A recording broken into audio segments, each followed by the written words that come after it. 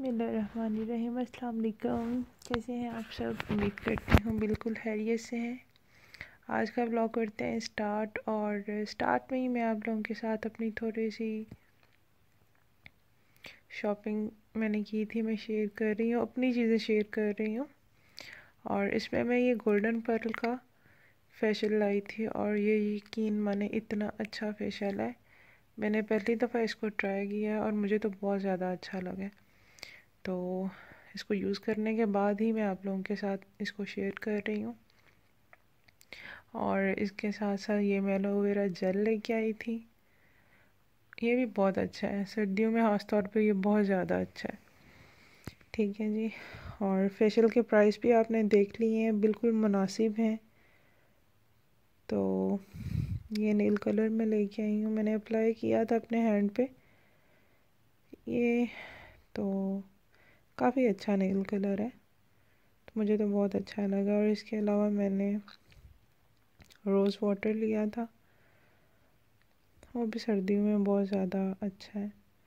खर्शी वालों का लिए तो बहुत अच्छा है। और बात वही आ जाती है फेशियल की तो फेशियल के हवाले से मैं बात करूँगी कि ये बहुत ज़्यादा अच्छा फेशियल है। और मैं आपको ज़रूर रेकमेंड करूँगी कि इसको ज़रूर ट्राई करें एक दफ़ा। जी तो अभी मैं किचन में आ गई थी और कुछ आज मज़े का खाने का दिल कर रहा था। तो फिर मैंने सोचा कि क्यों ना आलू गोश्त बना लिया जाए तो इधर मैं आलू गोश्त बना रही हूँ। और साथ साथ मुझे कुछ बातें भी शेयर करनी थी कि मेरे हस्बैंड कहाँ होते हैं। तो ऐसे ही बस दिल चाह रहा था कि मैं आप लोगों से अपनी खुशी को ज़रूर शेयर करूँ। अच्छा जी तो मेरे हस्बैंड जो है वो आउट ऑफ़ कंट्री रहते हैं। और अभी जो गुड न्यूज़ की जो अच्छी खबर है वो ये है कि अभी मैं अपने हस्बैंड के पास जा रही हूँ। और मैं बहुत ज़्यादा माशाल्लाह से खुश हूँ। और मैं लेडीज़ का बहुत अच्छे से समझ सकती हूँ जिनके हस्बैंड आउट ऑफ़ कंट्री होते हैं, गैर मुल्क में होते हैं, कि वो थोड़ा सा एक डिफ़िकल्ट टाइम होता है दोनों के लिए। सिर्फ़ वाइफ के लिए नहीं हस्बैंड के लिए भी बहुत ज़्यादा वो मुश्किल वक्त होता है।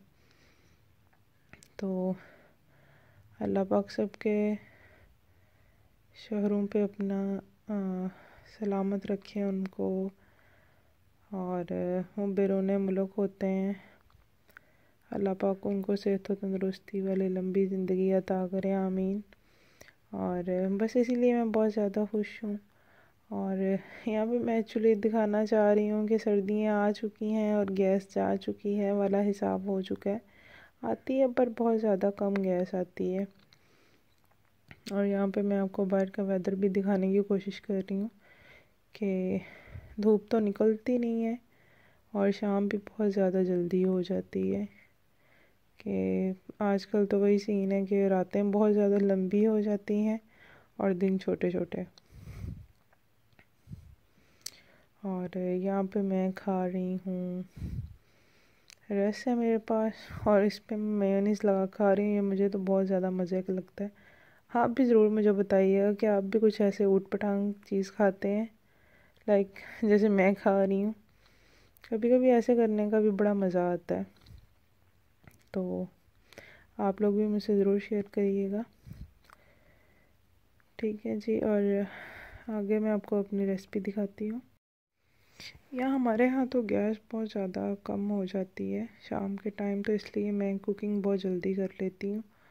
और यहाँ पे मैं आपको दिखा रही हूँ कि मैं गोश्त में जो आलू हैं वो बड़े साइज़ के डाल रही हूँ छोटे छोटे नहीं डाल रही, डाल थोड़े रही हूँ, पर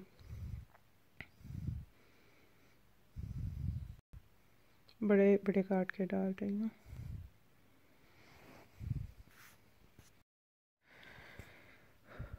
और यहाँ पे मसाले में मैंने अपना गोश्त डाल लिया था। जब और इसको मैं अच्छे तरह से भून रही हूँ, जब ये हाफ़ कुकड हो जाएगा, तब मैं इसमें आलू डाल दूँगी और फिर आलू को भी मैं कुक कर लूँगी अच्छे तरह से। और देन मुझे जितना शोरबा चाहिए होगा, मैं पानी डाल लूँगी। तो मेरा मज़ेदार सा आलू गोश्त रेडी हो जाएगा। अच्छा जी बीइंग अ मदर हमें बहुत सारे कामों को देख के चलना पड़ता है। सारा दिन बच्चों के साथ भी टाइम स्पेंड करना होता है, घर के काम भी देखने होते हैं। बेशक आप लोगों के साथ एक हेल्पर हो, उसके बावजूद भी जो इंसान खुद अपने हाथों से काम करता है घर वालों के लिए, उसका नेमल बदल तो कुछ हो ही नहीं सकता।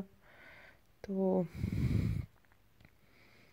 मेरे पास, मेरे बच्चे भी मेरे साथ साथ इधर उधर घूम फिर रहे हैं कि मामा किचन में है तो बच्चे भी पास ही फोर्स रहेंगे। और ये मैं साथ साथ फ्रेश बिल्कुल धनिया, आजकल तो बहुत अच्छा ज़बरदस्त सा धनिया आ रहा है। तो वही मैं साफ़ करके अपने पास रख लूँगी और बाद में मैं इसको अच्छी तरह से काट लूँगी।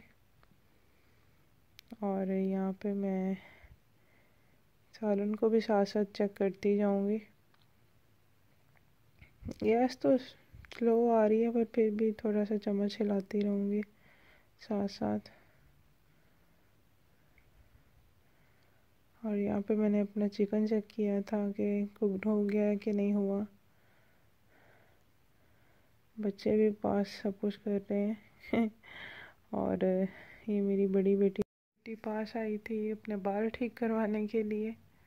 तो आलू भी मैंने डाल दिए। जी तो यहाँ पे मुझे जितना शोरबा सालन में रखना था मैंने रख लिया और नमक मिर्च भी मैंने टेस्ट कर ली थी और इसमें अब मैंने लास्ट में बिल्कुल डाला है गरम मसाला, काफ़ी ज़्यादा बल्कि ढेर सारा मैंने इसमें डाला है। क्योंकि गरम मसाला डालते ही ना जो एक वो ऊपर तरी सी आती है ना सालन के, वो बहुत अच्छी लगती है और अब मैंने इसमें बहुत सारा धनिया भी डाल दिया। क्योंकि ये बिल्कुल फ्रेश धनिया था, इतनी प्यारी खुशबू इसमें से आ रही थी। और साथ में इसमें मैं ग्रीन चिली हैं मेरे पास। वो भी बहुत खूबसूरत कलर की हैं। बहुत फ्रेश थी। ये मैं आपको क्लोज़अप इनका दिखाती हूँ कि बहुत फ्रेश थी। और ये भी मैंने इसमें डाल दी थी।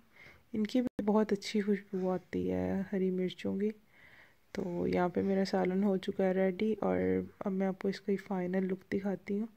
थोड़ा सा इसको दम लगा के। चूल्हा बंद कर दूँगी।